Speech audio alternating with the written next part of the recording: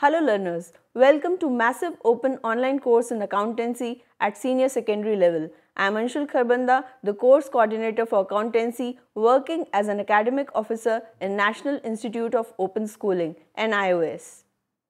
Well, we all are aware of the importance of business in our daily lives. It not only fulfills our basic needs of recording transactions but also provides accounting information for making decisions.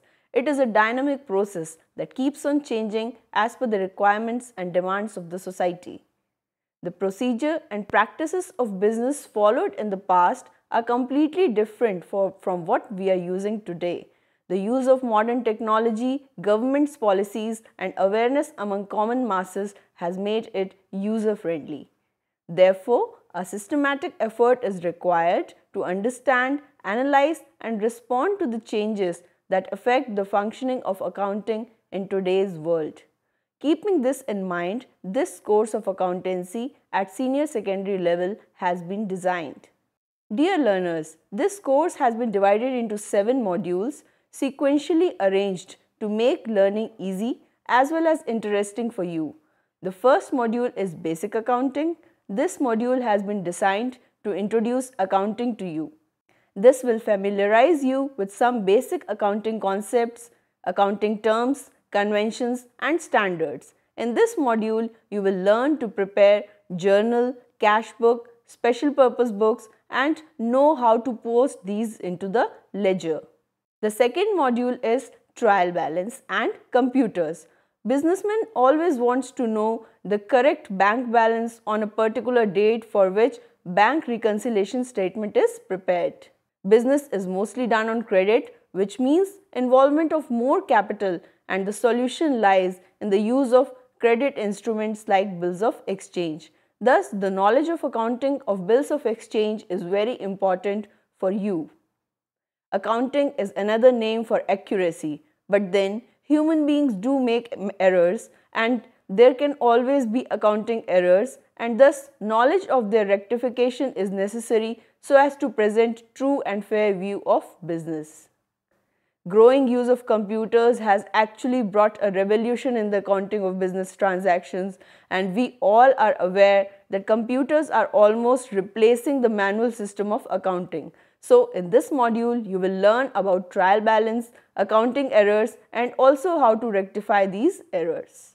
The third module is financial statements. One of the basic functions of preparing accounts is to know the financial results of the business for a particular period which is generally one year and also to know the financial position of business on a particular date. So for this purpose, trading and profit and loss account and balance sheet is prepared. You must have seen children going to school or you go to hospital for treatment when you are sick. These types of organizations like hospitals and schools are formed not to earn profit but to provide service to the community. While performing their activities, these organizations also engaged in financial transactions. So for these non-profit organizations, financial statements called receipts and payment account, income and expenditure account and balance sheet are prepared. The fourth module is partnership accounts. You are well aware that partnership form of business organization is widely practiced in our country. You should know the meaning and features of partnership and also that whenever there is reconstitution of partnership firm due to admission, retirement or death of a partner, it needs to be reflected in the accounts. If a firm is dissolved, that too needs special accounting treatment.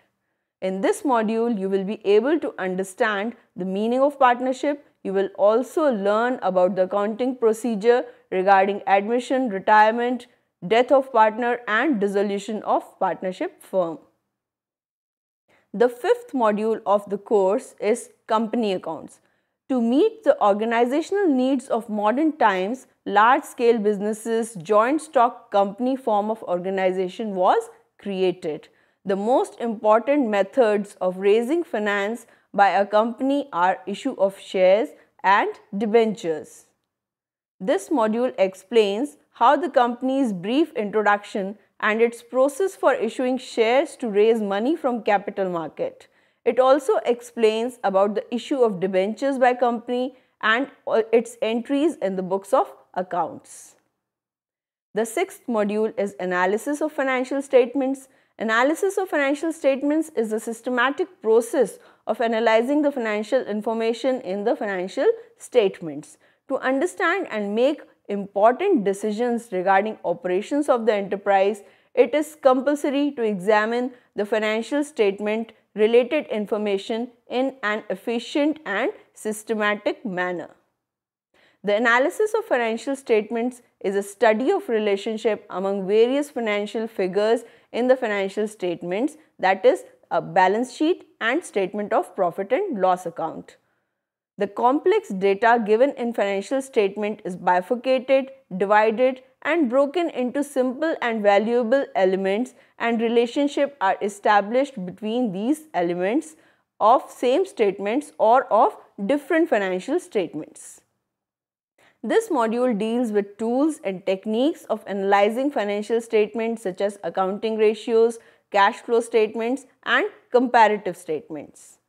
The seventh module of this course is application of computers in financial accounting. In this modern world of machines, we cannot imagine any organization working without the use of computers. Same is the case with business.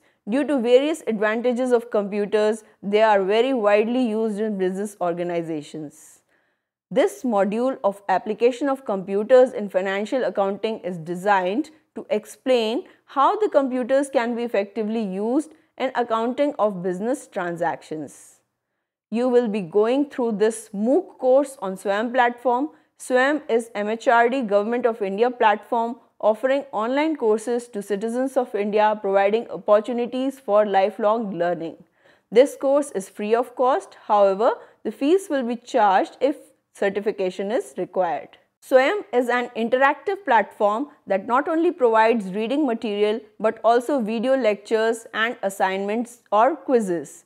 It also has a discussion forum where you can interact with your peers and also post your queries regarding this course. This is all about this course. I am sure that you will find the lessons and approach interesting and would be able to apply your knowledge in real life situations. So practice all the lessons of this course carefully and if you feel any difficulty, please feel free to write to me. Your suggestions are valuable.